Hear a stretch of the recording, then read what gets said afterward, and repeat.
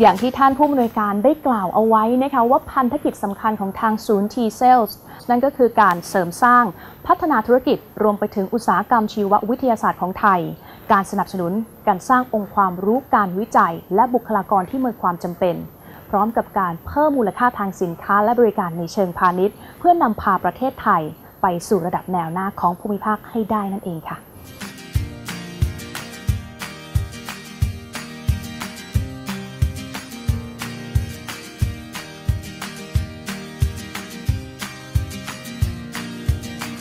ณวันนี้เริ่มมองเห็นภาพชัดเจนมากขึ้นเรื่อยๆ ท่านได้เห็นการเปลี่ยนแปลงมากน้อยแค่ไหนคะตั้งแต่เข้ามารับตำแหน่งหน้าที่แห่งนี้ แล้วผมดีใจมากเลยที่ในช่วงเวลาที่ผมมาทำงานที่นี่เกิดการเปลี่ยนแปลงมากมายค่ะในรัฐบาล ปีแรกที่ผมมาทำงานเอ่อรัฐบาลในเวลานั้นก็บอกว่าเอ่อคงจะต้องพัฒนาอุตสาหกรรมใหม่ ๆ ที่เกี่ยวกับเรื่องนี้ด้วยค่ะเราก็เลยเริ่มโปรแกรม โปรแกรมก็คือโครงการใหญ่เนี่ยนะครับเอ่อขึ้นมา 2 อันก็คือเรื่องของเซลล์บำบัดและยีนบำบัดค่ะ นะครับวันนี้ก็เอ่อทั่วโลกกำลังสนใจในเรื่องของการรักษามะเร็ง โดยใช้เซลล์เข้าไปนะฮะเริ่มมีผลแล้วนะฮะยีนบำบัดก็เริ่มเกิดแล้ว คนที่เป็นโรคพันธุกรรมค่ะแก้ไขยีนได้จากเดิมไม่สามารถหายขาดได้ก็หายขาดได้แล้วค่ะนะครับนี่คือเซลล์และยีนบำบัดเอ่อเนื้อเยื่อเวลาเราแก่ร่างกายสุดโทรมค่ะเอ่อต้องเปลี่ยนกระจกตาต้องเปลี่ยนข้อเข่าวันนี้เราก็เริ่ม มีจากโปรแกรมเนี้ยเราก็เริ่มมีการเริ่มพัฒนาการผลิตค่ะเอ่อเซลล์และเนื้อเยื่อเอามาทดแทนกระดูกอ่อน ทดแทนข้อเข่าทดแทนผิวหนังเนี่ยเริ่มทำแล้ว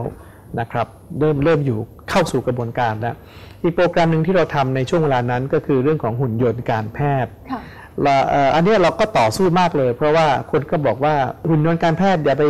ฝันเลยว่าเราจะทำได้มันดูไกลไปค่ะนะครับ ความสำเร็จของคนเรามันก็จำกัดอยู่แค่ความฝันของเราค่ะเราฝันแค่นี้เราทำได้แค่เนี้ยอย่างมากค่ะอาจจะทำไม่ได้ค่ะมันถ้าอยากทำได้มากมันก็ต้องฝันมากหุ่นยนต์การแพทย์เป็นสิ่งที่เราริเริ่มขึ้นมาเมื่อ 3 ปีที่แล้วค่ะเป็นโปรแกรมใหญ่นะครับ แล้วเราก็เริ่มทำงานกับภาคเอกชน ซึ่งเขาก็ดีใจมากเลย เพราะเฮ้ยเรามาคิดทำเรื่องนี้สนับสนุนเขา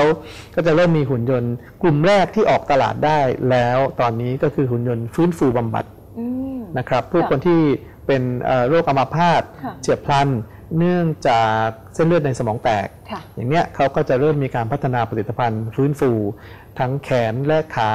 หรือเป็นหุ่นยนต์ช่วยเดินค่ะนะเราก็มีโครงการพัฒนาสิ่งเหล่านี้ โดยร่วมกับเอกชน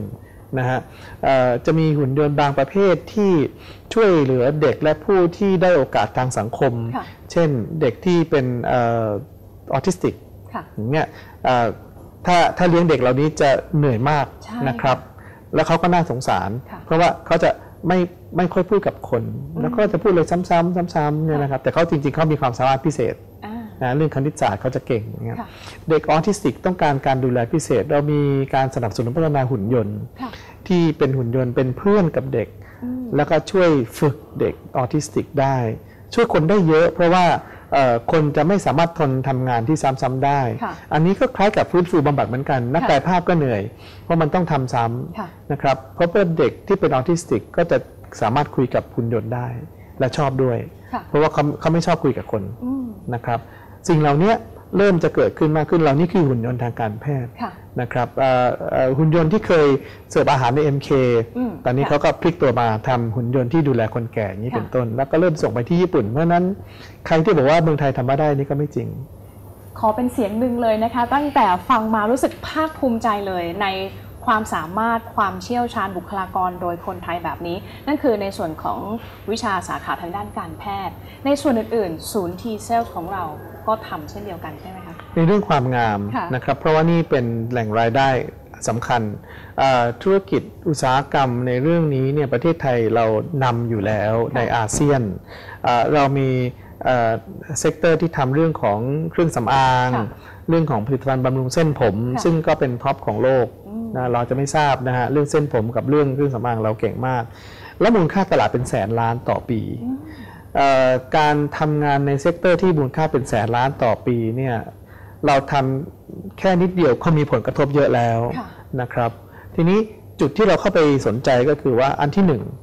มันมีวัตถุดิบค่ะธรรมชาติ ตอนนี้เทรนด์คือฮิตธรรมชาตินะฮะใช่ค่ะธรรมชาติของไทยธรรมชาติบำบัดเอ่อที่เราวิจัยแล้วแล้วเราเราเป็นเจ้าของได้ไหมค่ะอ่าตอนนี้เราได้คำตอบแล้วว่า ก็คือที่ที่วางอยู่ตรงเนี้ยคือเราเป็นเจ้าของได้ค่ะอันนี้มาจากงานวิจัยและพัฒนาโดยคนไทย แล้วเราก็ไปส่งเสริมนะครับ โดยท่านอาจารย์ที่อยู่ที่มหาวิทยาลัยสงขลานครินทร์ค่ะร่วมกับมหาวิทยาลัยนเรศวรค่ะเนี่ยจะสังเกตว่าต่างจังหวัดทั้งคู่เลยอืมนะครับ แต่ว่าเขาใกล้ชิดค่ะกับแหล่งวัตถุดิบอืมนะฮะเขาก็ทำวิจัย และเป็นงานวิจัยระดับโลก จดค่ะสิทธิบัตรในตอนนี้ 8 ประเทศแล้วนะครับยื่นจดไป 8 ได้มาแล้ว6ค่ะ 6หรือ7เนี่ยนะฮะตอนนี้เราก็ทยอยเก็บเก็บสิทธิบัตรนะครับเพื่ออะไรค่ะเพื่อปกป้องตลาดถูกต้องขค่ะองคนไทยค่ะที่จะกล้าออกไปขายในประเทศเหล่านั้น วันนี้สิ่งที่เราทำขึ้นมาเนี่ยเป็นต้นแบบเท่านั้นเองอืมแต่ว่ามีเอกชนครับที่รับไปทำและเริ่มจำหน่าย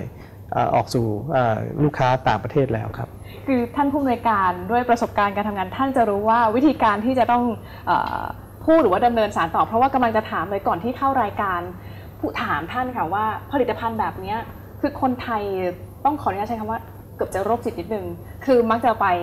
จงรักภักดีหรือว่าไปชอบในสินค้าที่เป็นแบรนด์มากๆ แล้วถ้าเห็นผลิตภัณฑ์แบบนี้ เราจะทำยังไงให้เป็นที่นิยม หรือว่าเป็นที่ชื่นชอบและคนไทยใช้ของไทยได้ ครับ ก็เป็นโจทย์ของเราด้วยไหมคะ ก็มี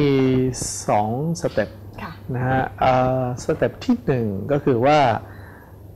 เราไม่ต้องห่วงเรื่องแบรนด์ก่อนค่ะทำของให้ดีอืมนะ อันเนี้ย TCELS ทำช่วยได้เยอะค่ะอ่าเรื่องแบรนด์เดี๋ยวเดี๋ยวเดี๋ยวคุยต่อนะค่ะแต่เรื่องทำของให้ดี TCELS ช่วยยังไงหนึ่งวิจัยพัฒนาอ่ามีพื้นฐานทางวิทยาศาสตร์ที่ค่ะที่พิสูจน์ได้เป็นเหตุเป็นผลว่าของจริงนะค่ะเอ่อแล้วมันมีผลจริงเรามีศูนย์ทดสอบอยู่ที่ที่มอญนเรศวรที่ค่ะพิษณุโลกนะครับ ได้ผลจริงและปลอดภัยอืมเราขอแค่เนี้ยนะฮะแล้วเมื่อทำของที่ดีได้เนี่ยอ่า มันมีเส้นทางไปต่อ เช่นเอ่อบริษัทไทยด้วยกันเองค่ะซึ่งเขามีฝีมือในเรื่องการผลิตและการขายเขาก็มาเอ่อรับหมาน้าที่ต่อมารับไปทำต่อค่ะอย่างเช่นที่เกิดขึ้นแล้วในกรณีของผลิตภัณฑ์เครื่องสำอางยางพาราค่ะนะครับ แต่มันก็จะมีอีกอีกอีกวิธีหนึ่งก็คือ เราก็ขายให้กับเอ่อผู้ที่จะเป็นผู้รับซื้อในต่างประเทศอืมไปออกตลาดในต่างประเทศค่ะนะฮะอันนี้ก็จะเป็นอีกวิธีหนึ่ง ซึ่งเอ่อเป็นวิธีที่เมืองไทยเก่ง อยู่แล้วค่ะถ้าเราลองนึกดูนะครับ รถยนต์เรามียี่ห้อไทยไหมอืมไม่มีค่ะนะฮะเอ่อเทียบเคียงกันได้เลย ธุรกิจรถยนต์เราเคยตัดสินใจมาแล้วครั้งหนึ่งว่าค่ะเราอยากจะมี national car ไหมอืมอ่ามาเลเซีย อินโดนีเซียก็ทำค่ะหรือเราอยากจะเป็นฐานให้ใครก็ได้ค่ะจะเป็นนิสสันโตโยต้าฟอร์ดได้หมด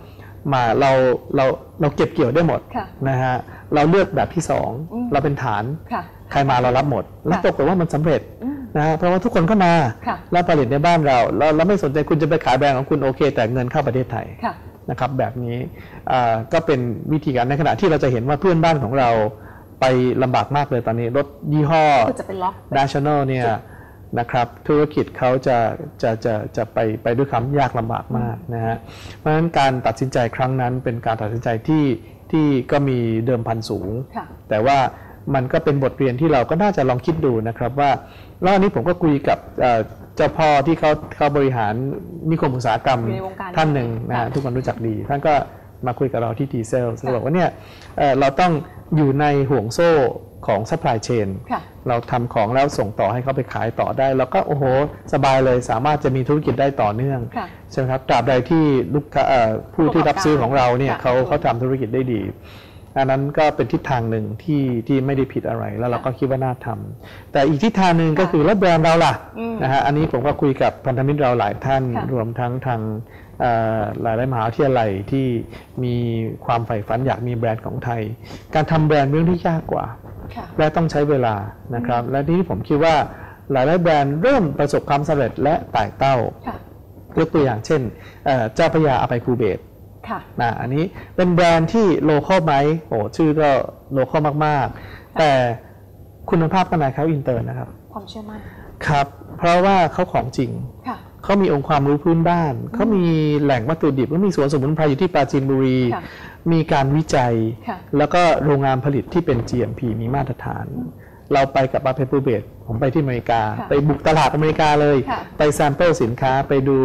เอ่อกฎระเบียบของเขาค่ะ นะครับโอ้โหเขาซื้อของกลับมาเยอะมาก ไม่ได้ซื้อของช้อปปิ้งนะค่ะแต่ซื้อมาทำการศึกษามาวิจัยต่อเพราะว่าตอนเนี้ยเขาเริ่มขายต่างประเทศแล้วค่ะนะครับเพราะฉะนั้นเราก็ภูมิใจได้นะฮะแล้วอันนี้คือแบรนด์นะครับเราก็คิดว่าแบรนด์ไทยเนี่ยเอ่อเป็นแบรนด์ที่ต้องใช้เวลาปั้น แต่ว่าเราต้องมีความอดทน แล้วก็มีความ ถอยกลับมาที่ว่าเราเป็นของจริงไหมอืมคือถ้าเป็นแบรนด์ที่สร้างขึ้นโดยmarketing ล้วนๆเนี่ยค่ะมันไม่ยั่งยืนค่ะมันต้องเป็นแบรนด์ที่หนุนด้วยองค์ความรู้ และด้วยความเอ่อการพิสูจน์ได้ในทางวิทยาศัศาสตร์ คือมีศักยภาพด้วยตัวแบรนด์ด้วยสินค้าของตัวเขาเอง ไปด้วยกันค่ะมันจะไปด้วยกันครับ ฟังแบบนี้แล้วภาคภูมิใจแล้วอยากจะเห็นคำว่าศูนย์ความเป็นเลิศทางด้านชีววิทยาศาสตร์นี้ ต้องขออนุญาตใช้คำว่าปิดทองหลังพระ คืออยู่เบื้องหลังของความสำเร็จหลากหลายอย่าง